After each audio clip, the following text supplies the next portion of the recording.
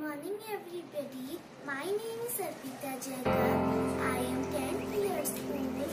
I am from St. Anna Church, Rudrapur. I am standing here to speak on Satut Days. Prabhu Meera Chilwaha hai.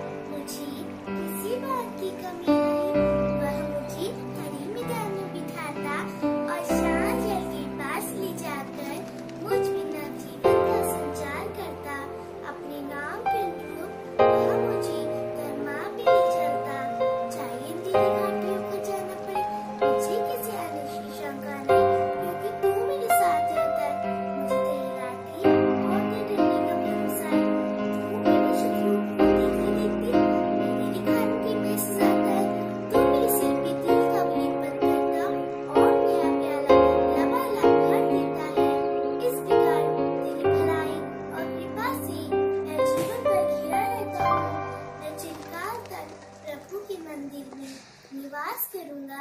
आमीन। Thank you